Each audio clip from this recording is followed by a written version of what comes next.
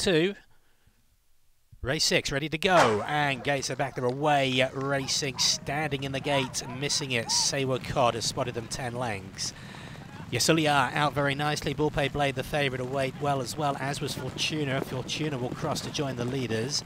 Uh, Gladius won't be too far away either, and on the outside, Naldo Wang will just slot in ahead of Nagile Biel. Back to the fence, the blue cap of Chongegi Sang, just on the inside of Indiana Biel. They're followed by Phoenix Class. It's then two and a half lengths further back to Sewakot and Yoljong Argo at the rear of the field. So pretty much got four abreast here. Yesuliya on the inside of Fortuna.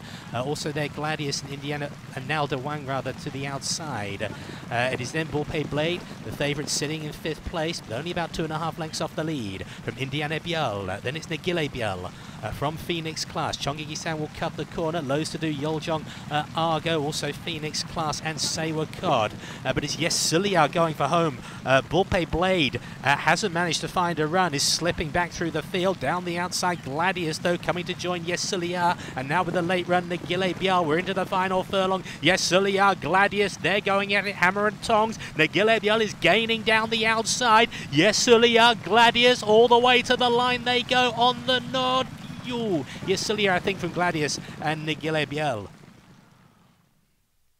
Little chat between the jockeys uh, there.